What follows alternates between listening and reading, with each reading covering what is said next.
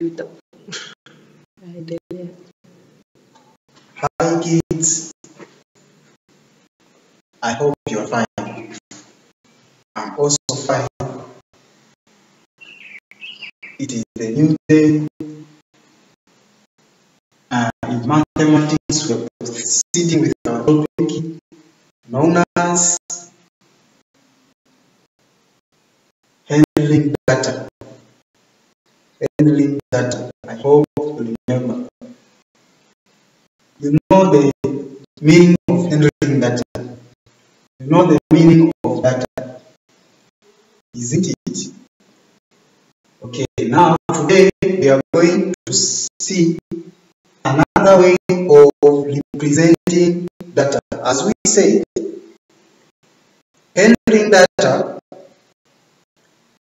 this is um, this is an act of collecting, presenting,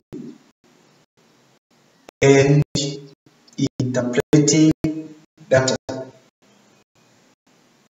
Data are the information presented or interpreted or recorded.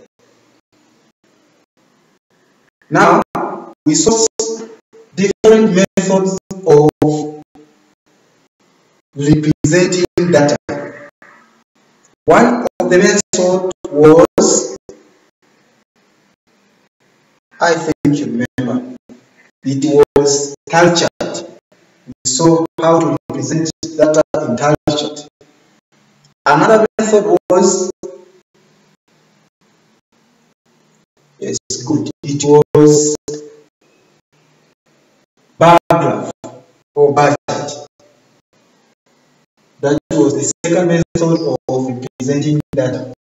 Now today we are going to, to see another method of representing data. This is, can you read this word? Yes, good. This is bar graph. Bar graph is another method of representing data. Now, I should we have given the frequency like this. You have given the frequency table like this. Now, you need to prepare the bar graph. You need to prepare the bar graph for the frequency table given. So this, we have our data. There is the names of the students and the number of books they have. Now we need to represent this information into bar graph. Bar graph, this is the graph that has the horizontal horizontal line that has the horizontal line and the vertical vertical line as you can see here. Here. This is the graph.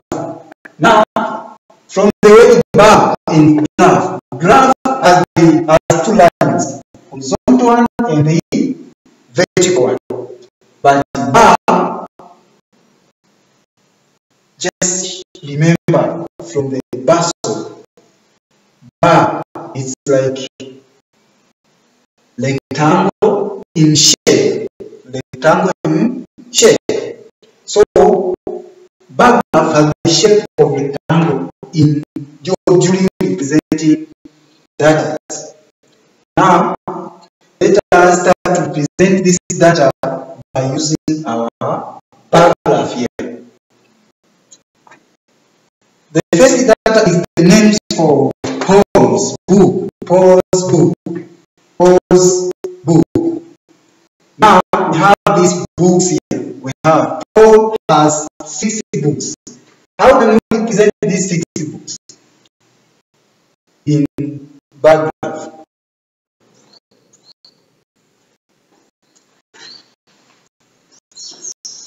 Okay, let us proceed.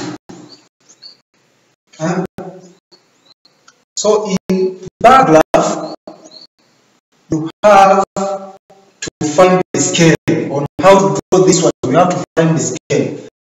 And selection of the scale, you have to look for the largest number in the smallest number. For example, if this has 12 books and Tom has 3 books, this is the largest number, this is the smallest number. So from here we can get the scale by largest number and dividing by the space given. If you have 3 centimeters, so you have to take 12, uh, 12 are the largest data and divide by the space given. So according to our space here, we have 6 lines. So I, I took these 12 divided by 2 and I got 6, so I draw here 6, 6 lines. So it, it will end in 12 years and it is not less than 3. It is not less than 3. So make sure all these data are there. According to our scale now, we have to look for only 2, 2 centimeters represent one, one bar graph. One bar, 2 centimeters represent one bar. One bar means the first step here. The second step also we are going to add one two bars, two, two numbers in one bar. Okay, now let us start to represent this information in our graph there. Paul has 60 books. Now, where is 6? 6 is here, so Paul is here. So we are going to draw the line from Paul up to 60 there. Pose column to number 6. And remember, bar has this shape. It's a rectangle. So bars has that shape. We have this. This has? This has 12 books. 12 is there. So let's draw the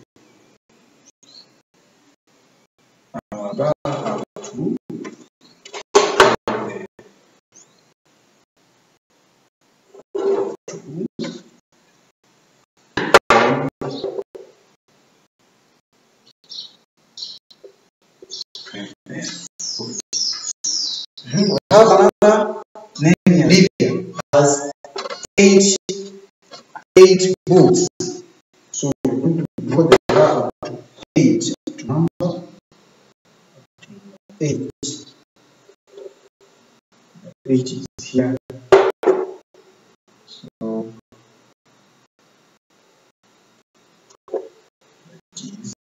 eight. Hmm, Another name is Kira. Kira has how many books? Five books.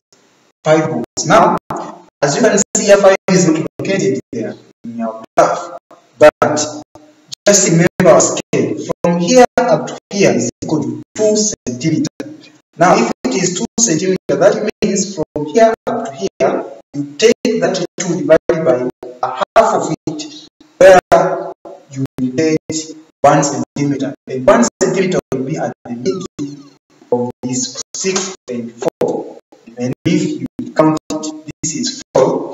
That means at the middle of it will be 5 and then 6.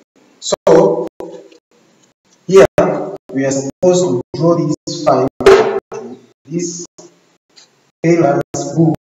Up to here number 5 number 5 there. Now we have another